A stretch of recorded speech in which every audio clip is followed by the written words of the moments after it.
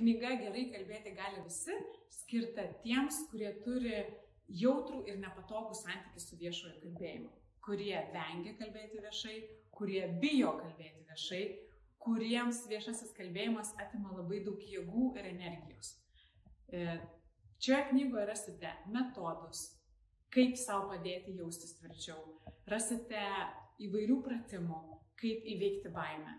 Rasite taip pat daug knygų analizių, kalbų analizių, kurios padės jums į kalbas pažiūrėti truputį kitaip.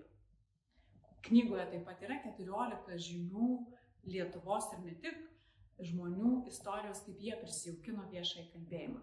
Pamatysite, kad ir jie bijo, ir jie klysta, ir jie mokosi iš savo klaidų. Tai skaitykite ir jaukinkite viešai kalbėjimą.